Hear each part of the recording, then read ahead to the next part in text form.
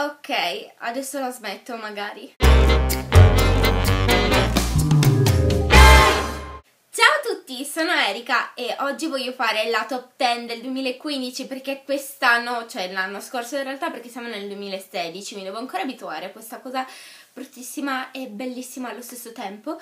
Comunque, ho letto un sacco di libri stupendi l'anno scorso ed è stato alquanto difficile scegliere solo 10 libri per farli entrare in questa lista e premetto che ovviamente non saranno libri messi in ordine tipo dal più bello al più brutto o dal più brutto al più bello o dal medio all'ultimo o dall'ultimo al primo o sì vabbè avete capito?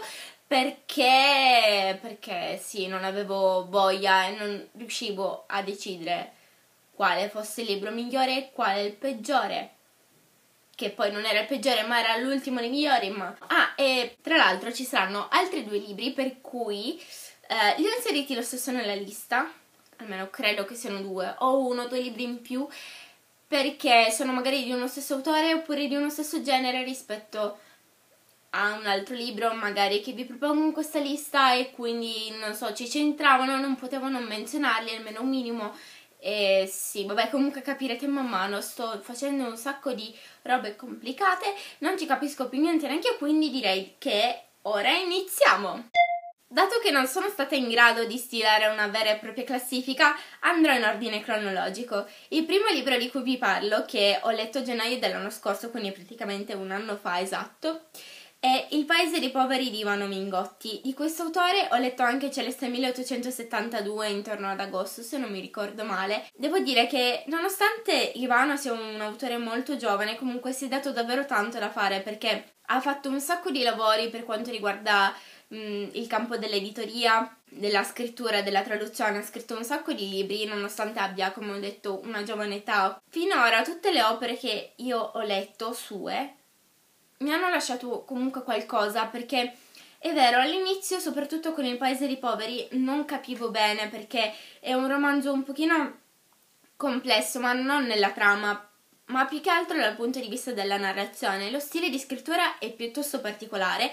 Andatevi a vedere il video che avevo fatto l'anno scorso per capire bene che cosa intendo, perché ci vorrebbe troppo spiegarvi tutto di nuovo. Però, lì per lì, quando finite il romanzo, rimanete tipo oh mio dio, cosa ho letto?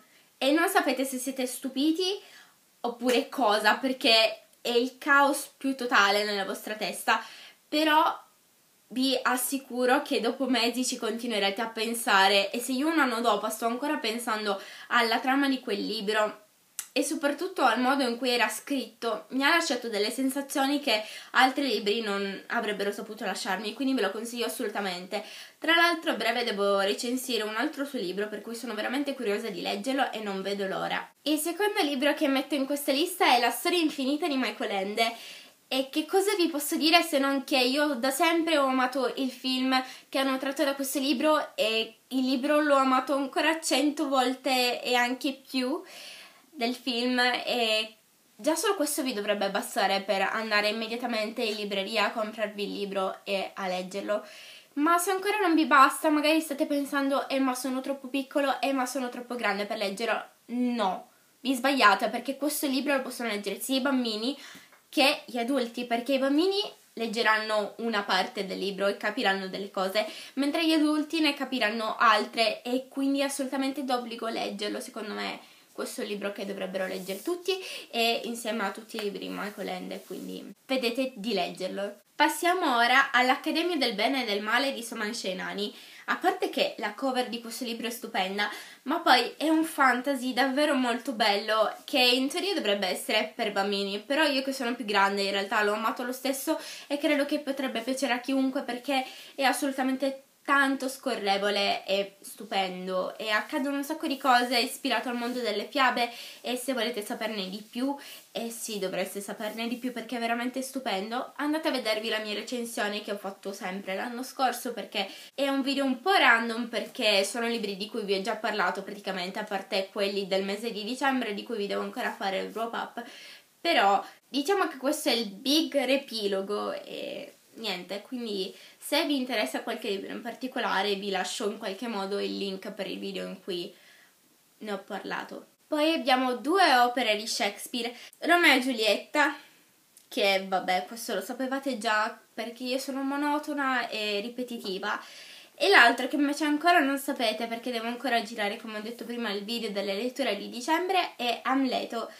E, ehm, sì, in realtà sono più legata a Romeo e Giulietta perché comunque l'ho letto da più tempo, quindi è già da tanto che l'ho metabolizzato, diciamo. Poi ho visto anche altre versioni, letto storielle, cose del genere su questa storia, per cui ci sono un pochino più affezionata e oltretutto l'ho anche studiato a scuola, quindi capisco meglio quello che ho letto.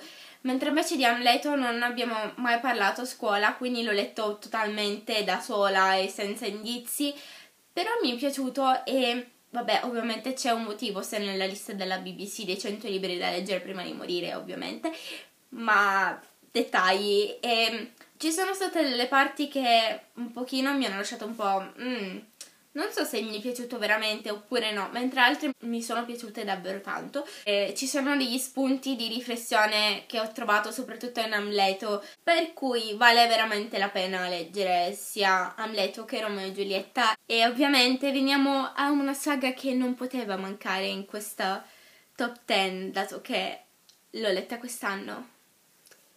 Se non sapete ancora di che cosa sto parlando, vuol dire che dovete recuperarmi un po' di video. Tipo di un anno e mezzo fa. Ovviamente sto parlando di Harry Potter e in particolare dell'Ordine della Fenice, che è il mio libro assolutamente preferito della saga. È strano perché di solito tutti hanno dei dubbi sul decidere quale sia il loro libro preferito della saga, però io non ho assolutamente dubbi e lo capisco semplicemente dal fatto che questo libro è il più grande della saga ed è stato quello che io ho letto in meno tempo, tipo in un giorno e mezzo e mi sono immedesimata come non mai nel personaggio di Harry e anche degli altri e in particolare forse non so perché era un periodo in cui ero particolarmente contro il mondo o chissà per quale motivo, ma ero in una fase diciamo di rabbia e di ribellione e mi rispecchiavo perfettamente in questo personaggio e quindi questo sarà uno dei miei libri preferiti per sempre tipo. Poi, come non nominare George Orwell con la fattoria degli animali? E io ho sempre voluto leggere qualcosa di George Orwell da quando ho iniziato ad interessarmi al genere distopico e finalmente ci sono riuscita. Mi rendo conto che è un libro veramente piccolo per cui potete dire ma perché non l'hai letto prima? Ma perché ero stupida e perché non l'avevo ancora trovato e devo assolutamente recuperare 1984. Però che vi posso dire di questo libro, a parte che è assolutamente da leggere perché fa riflettere, riguarda di maiali che diventano padroni di una fattoria e alla fine finiscono per diventare umani. E sì, forse così non si capisce niente, ma dovreste saperlo perché dovete conoscere questo libro e se non lo conoscete leggetelo perché è importante. Poi uno Nessuno 100.000 di Luigi Pirandello che probabilmente è diventato il mio scrittore italiano preferito. Eh sì, vabbè, io non leggo molti autori italiani in realtà, però diciamo che ho proprio voglia di leggere le opere di Pirandello e ormai ho letto praticamente tutte le sue opere più importanti perché io adesso ho scelto questa, però in realtà quest'anno in particolare ho letto anche il Fumatti a Pascal, anche se in realtà l'ho ascoltato perché ho usato l'audiobook, ma dettagli. E io adoro questo autore e fa un sacco di ragionamenti complessi e contorti filosofici, ma che mi rispecchiano perfettamente perché io sono così, sono molto contorta, molto strana e chi mi conosce lo sa.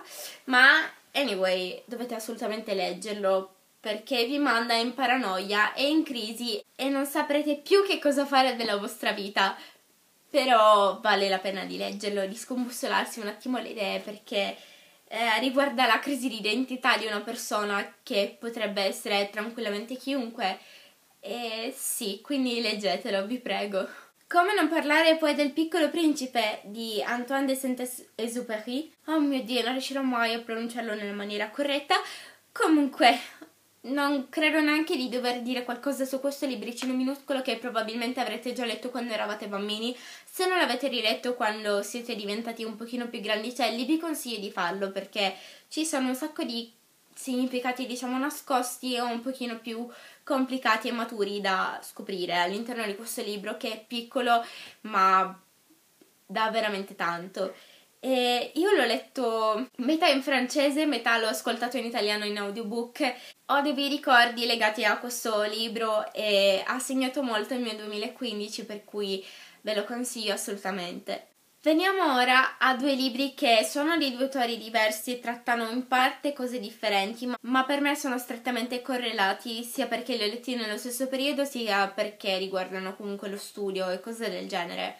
Il primo è di Dylan O'Brien, Gli esami non finiscono mai e sì, è un po' difficile ricordarsi questi titoli lunghissimi. In questo libro si parla principalmente di tecniche di memoria e brevemente di lettura veloce. L'ho trovato molto interessante, molto scorrevole e può tornare veramente utile in alcuni casi, soprattutto se volete imparare a imparare le parole tipo in fila. Non so, vi danno una lista di parole e dovete impararle tutte in ordine ed è veramente molto utile.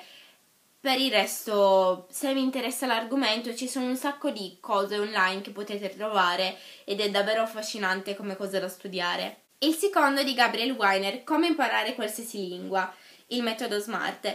E è un librone abbastanza grande e l'ultima parte probabilmente non serve a molto, a meno che non vi piaccia usare le flashcard, però la prima parte per chi studia lingue o è interessato allo studio delle lingue è davvero molto interessante, ci sono un sacco di aneddoti e cose curiose e l'ho trovato utile anche questo, per cui ve lo consiglio. E sì, e quindi questi due libri in teoria erano divisi, ma potrebbero essere considerati anche da leggere uniti, secondo me, anche se io li ho trovati in due posti diversi, però ve li consiglio assolutamente. E infine, l'ultimo libro di questa lista, perché è stato uno degli ultimi libri che ho letto a dicembre 2015, è La locandiera di Carlo Goldoni, che io ho studiato a scuola nella prima parte di quest'anno scolastico e la professoressa di italiano ha deciso di darcelo da leggere, diciamo, per il periodo delle vacanze o comunque dalla fine del trimestre. E che dire, è una commedia molto scorrevole da leggere, molto veloce, l'ho letta in tipo tre ore e, ehm, ed è anche molto divertente, soprattutto perché quando tu studi una cosa a scuola non ti aspetti che possa essere divertente di solito, perché in genere si è abituati, soprattutto quando si inizia la prima parte della letteratura, a leggere cose un pochino noiose perché il linguaggio è difficile. Invece in questo libro, che in realtà è un'opera teatrale, il linguaggdo è abbastanza simile a quello dell'italiano odierno comunque.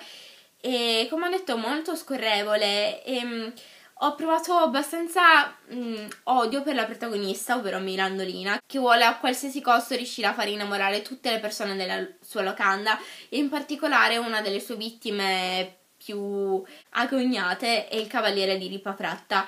Non vi dico altro perché comunque vi rovinerei un'opera teatrale che è veramente corta e che dovreste andare a, a, vedere a teatro perché ovviamente è così che si gustano meglio le opere teatrali, non leggendole e vi consiglio anche di, di ascoltare l'audiobook perché a me ha aiutato molto con i personaggi per riuscire a ricordarmi bene o male le varie caratteristiche, soprattutto perché comunque è vero che non ci sono tanti personaggi come nelle opere di Shakespeare, però è comunque difficile immag- immaginarsi tanti personaggi che non sono neanche descritti. È un'opera importante soprattutto per il suo ruolo nella letteratura, però come ho detto intrattiene anche molto, per cui ve la consiglio assolutamente. E questo per questa top 10, spero che non sia venuto un video troppo lungo, però immagino di sì, perché erano tanti libri. E fatemi sapere voi che libri avete letto quest'anno, che avete apprezzato particolarmente. Lasciate un mi piace se vi è piaciuto il video, andatevi a vedere i video vecchi se non li avete ancora visti e siete incuriositi dai libri di cui vi ho parlato in questo video. E noi ci vediamo nel prossimo video. Ciao!